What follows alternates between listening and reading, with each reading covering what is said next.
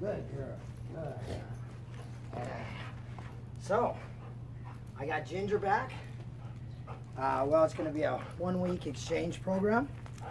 Got a little bit of sore, sore throat today, but uh, that's because the house has got a lot of dust and stuff in it. And uh, so, I am happy as can be because I got my dog. So, as you can see, I'm getting going on the fence. It's actually going to be a uh, probably pretty cool uh, fence. It's going to have,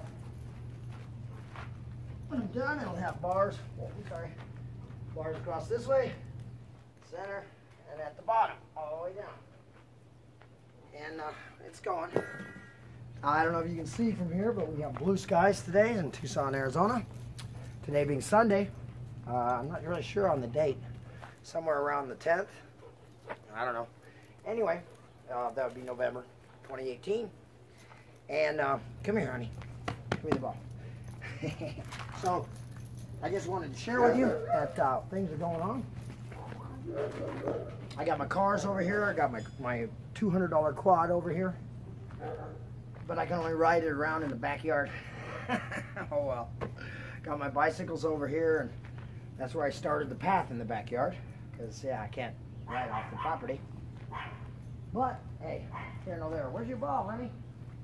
Where's your ball? Your ball. Where's your ball? Uh-oh, you lost the ball.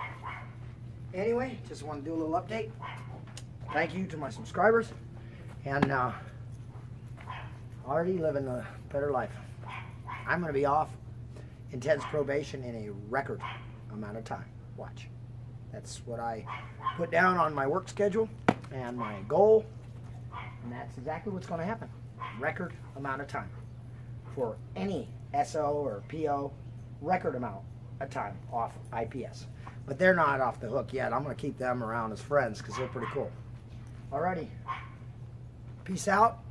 Real News Tucson reporter Chris Haskell. Come on, Ginger, where's your ball?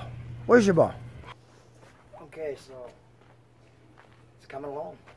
Just nice. Gonna close it off.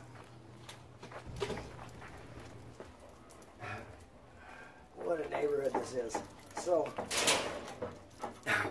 people want this neighborhood cleaned up.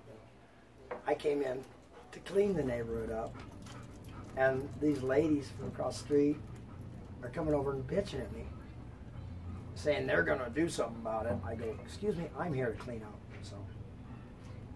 Man, I tell you, what a fucked up neighborhood.